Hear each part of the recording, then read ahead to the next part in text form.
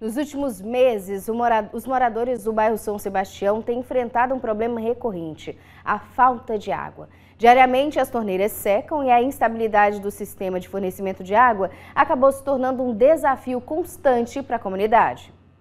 Um problema que vem se arrastando por vários e vários dias. É a falta de água que constantemente vem preocupando os moradores da Vila Araguaia, no bairro São Sebastião, zona sudeste de Teresina. Um relato de todos que moram aqui. Estamos sem água que está com duas semanas, acho que mais ou menos mais duas semanas, né?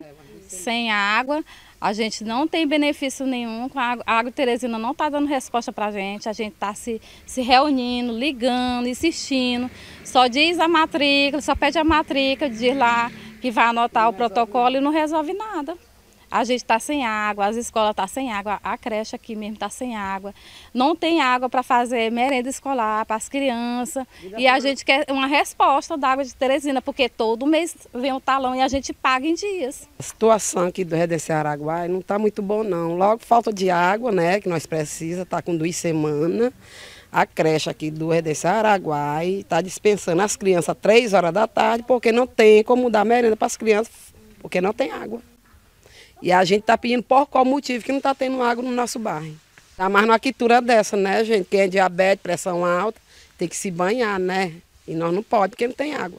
Nos últimos dias é comum abrir, por exemplo, as torneiras e se deparar com a falta de água. Um problema que vários moradores estão passando, principalmente nessa época do ano. Por aqui, cada morador relata um problema com a falta de água. O pouco que vem é reservado em baldes o que tem gerado sérios transtornos. Na minha casa, na minha quadra, quadra V, sempre não teve água, sempre teve águas assim alternativas, alternadas, né? Meio de semana, das seis às, às nove, ao meio dia, às três horas da tarde. Agora, um mês, dois meses depois começou o BROBRO, não tem água de forma alguma.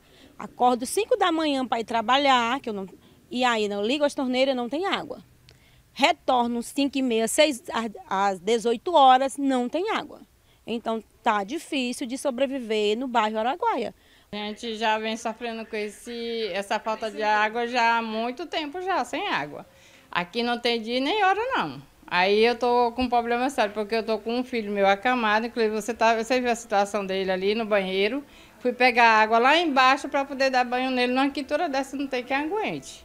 Então, é, o talão chega todos os meses. Agora a água não tem, entendeu? Aí a gente fica numa situação bem precária.